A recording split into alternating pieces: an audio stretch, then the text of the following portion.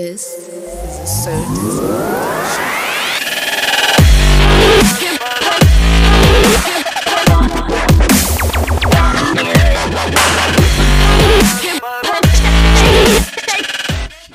What's up YouTube? It's your boy Nate Dizzy coming at you with another Fortnite video. Today I want to talk about the new SCAR with the suppressor that they added to Fortnite. Now, this gun is very boring. I'm to tell you what. Now, it's exactly what it says it is. It's a SCAR with the suppressor on it. Basically, it's slightly quieter. It's better at tap shooting. It's worse at spraying, but it's very, very similar. I think this was a very safe move.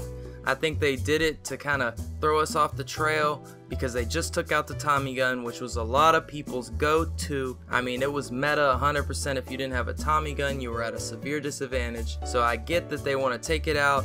Hopefully, they're reworking it and not fully getting rid of it because that will kind of upset me. Although it was a powerful gun, it wasn't a ridiculous gun. Like, it was powerful, but you still had to know how to use it you still had to know what you were doing. It required some degree of skill. The spray wasn't extremely tight. It's, and it had a damage drop off at range, so hopefully they're going to be bringing that back. Real quick, I want to touch on the grappler because it's just a good point. I was just swinging through the air. The grappler is a cool thing, but I do feel that they need to nerf that thing, or they need to uh, they need to do something, or just get it all the way out the game.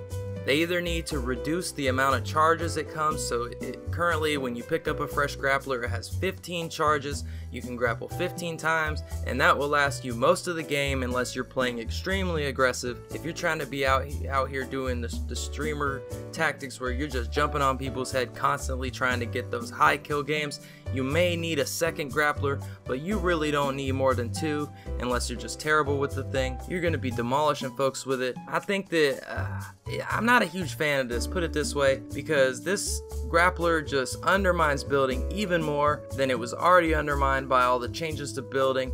It was already undermined by the, the drum gun. Of course, now that the drum gun's out, it's a little bit fixed with, with regards to that, but then they bring the grappler right back in. So it's kind of like, what? What was the point?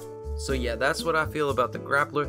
Now you'll see I'm looking here at the difference in values as far as the SCAR uh, suppressed to the SCAR regular and it's not much of a difference. It's a three point difference in the actual damage per shot. That means that you'll have slightly less DPS, but this gun is more accurate when tap firing, which is what you should really be doing anyways with a gun like that. If you're close range, I can see spraying it, and the difference between the suppressed and the regular, first off, the same fire rate, so the main difference is that damage and at close range the spray is about the same. Now if you spray for a long period of time with the suppressed scar that spread, that bloom opens up a lot so do not do that. I do not advise that.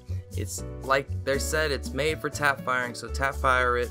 In practice is basically a regular scar that's slightly quieter and slightly more accurate when tapping. Although, if you're already good with the scar, it's going to be the same thing. Pick it up, same rate of fire, uh, you know, slightly less damage on the suppressed version, but it's slightly quieter. So it's basically just a very safe move by Epic. That's pretty much it. Nothing really left to say. Uh, let me know how you're feeling about the current situation in Fortnite. What do you think about all the new stuff? What do you think about getaway mode? I won't even talk about it because I hate it. But let me know what you think. I'm interested to know if I'm not the only one or if I am the only one. Like, comment, and subscribe if you like the content and want more. I hope you're having a wonderful day. Hope you're doing good. I love you guys. See you next time.